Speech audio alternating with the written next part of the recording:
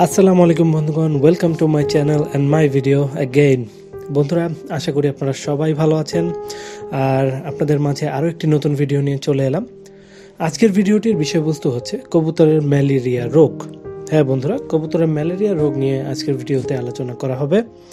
তো মনোযোগ দিয়ে শুনবেন আশা করছি।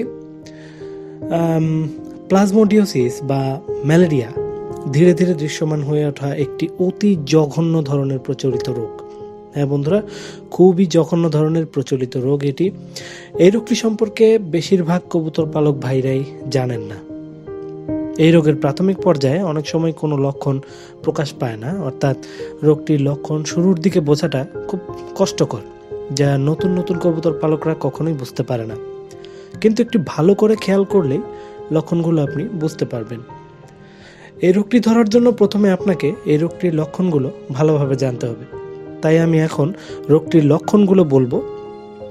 একটু মনোযোগ দিয়ে শুনবেন, আশা করছি। তো পুরোটা যদি একটু মনোযোগ দিয়ে শোনেন, আপনারা অবশ্যই এই রোগটি আইডেন্টিফাই করতে পারবেন।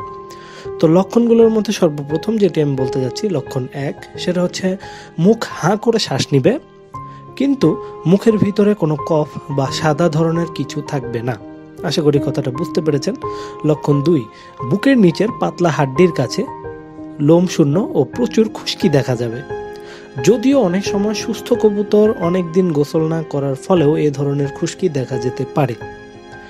লক্ষণ তিন, পালকের উজ্জ্বলতা বা মসৃণ যে ভাবটা থাকে, অর্থাৎ তেল তেল একটা শাইনি ভাব থাকে, সেই ভাবটা নষ্ট হয়ে যাবে।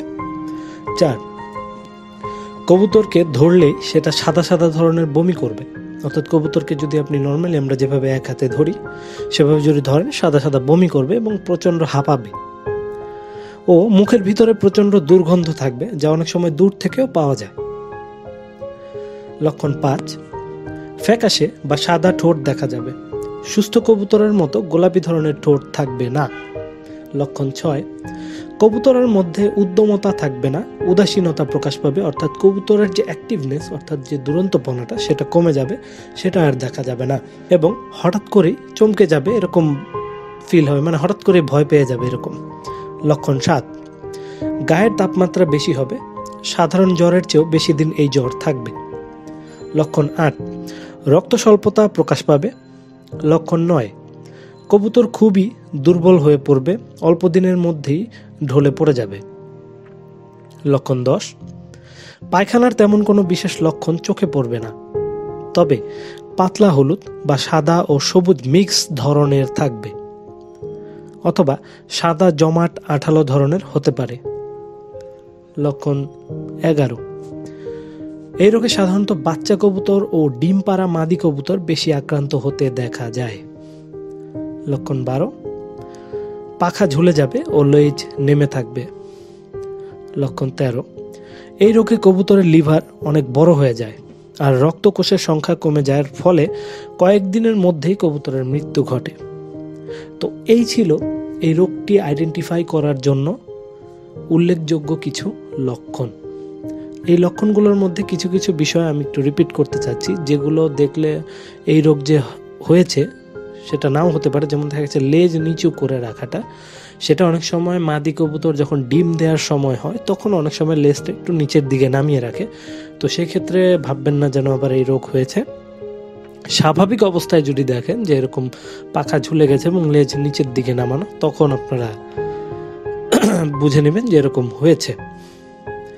তো বন্ধুরা এতক্ষণ আমরা এই রোগটি বোঝার জন্য যে লক্ষণগুলো আমাদের জানা দরকার, সেগুলো জানলাম। এখন আমরা সরাসরি চলে যাব এই রোগটি যদি হয়ে যায়, তাহলে আমরা এই রোগটির বিপরীতে কি চিকিৎসা বা প্রতিকার দিতে পারি?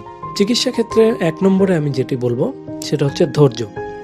এই রোগের চিকিৎসা একটু ধৈর্যশীলতার পরিচয় দিতে হয়। কারণ এই রোগের চিকিৎসা মোটামুটি বাহান্ন দিন পর্যন্ত চলে।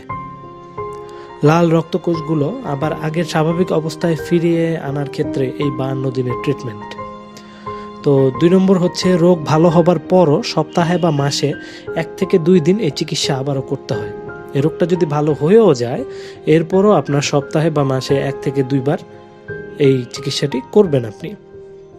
তিন নম্বর যেটা, সেটা হচ্ছে আয়রন ও জিঙ্ক ভিটামিন দিতে হবে যাতে লাল রক্তকোষ বাড়তে সাহায্য হয় বডির ভিতরে। চার নম্বর চিকিৎসা যেটা, সেটা হচ্ছে মানে চিকিৎসার ক্ষেত্রে চার নম্বরে যেটা আপনার করণীয়, সেটা হচ্ছে চার ভাগের এক ভাগ অ্যাভলোকুইন। অ্যাভলোকুইন, এটি একটি ওষুধের নাম।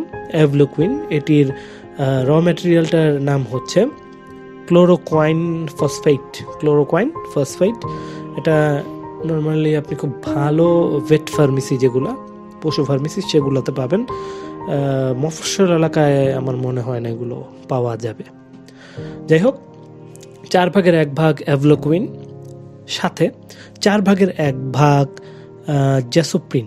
জ্যাসোপ্রিন, এরও সাথে আপনি যেটা দিবেন সেটা হচ্ছে এক গ্রাম গ্লুকোজ প্লাস স্যালাইন, দশ সিসি পরিমাণে মিক্স করে দিনে তিনবার করে দিতে হবে। দিনে তিনবার করে দিতে হবে। বন্ধুরা, আমি ওষুধগুলো আবার রিপিট করছি।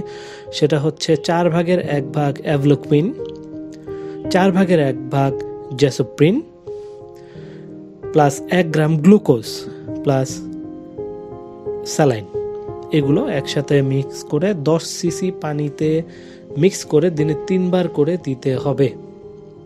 ঠিক আছে? পাঁচ নম্বরে যেটি আপনাদের করণীয়, সেটি হচ্ছে চিকিৎসা চলাকালীন সময়ে যেন কোনো ভিটামিন বা মিনারেলস বাদ না পড়ে, যথাবিধি সেগুলোকে প্রয়োগ করতে হবে। অর্থাৎ আপনার যখন এই চিকিৎসাগুলো চলবে, তখন চেষ্টা করবেন যেন কবুতরের কোনো ভিটামিন বা মিনারেলসের ঘাটতি না দেখা যায়। অর্থাৎ আপনি মাল্টিভিটামিন এই ক্ষেত্রে ইউজ করতে পারেন। আর মাল্টিভিটামিনের ক্ষেত্রে যেটা সবচেয়ে বেশি ভালো হবে, সেটা হচ্ছে Aralen W S tablet. Aralen, W S tablet, এটা বাইরে থেকে আসে ওষুধটা। এটা আমাদের দেশি না, এটা ইম্পর্টেন্ট বাইরে থেকে আসা ওষুধ। তবে যদি আপনারা এই ওষুধটি না পান, তাহলে যথাযথ আমি অন্যান্য ভিডিওতে আপনাদের যে সকল মাল্টিভিটামিনের সাজেশন দিয়েছি, ওগুলো আপনারা ইউজ করতে পারবেন, এতে কোনো প্রবলেম হবে না। তো বন্ধুরা, আশা করি এই রোগটির চিকিৎসা সম্পর্কে আপনারা খুব ভালোভাবে বুঝতে পেরেছেন। আমার কথায় যদি আপনারা না বোঝেন, অবশ্যই আমি স্ক্রিনে সব কিছু উল্লেখ করে দিচ্ছি। আপনারা স্ক্রিনের স্ক্রিনশট নিতে পারেন এবং নিয়ে সেই অনুযায়ী এই রোগের ট্রিটমেন্ট করতে পারেন।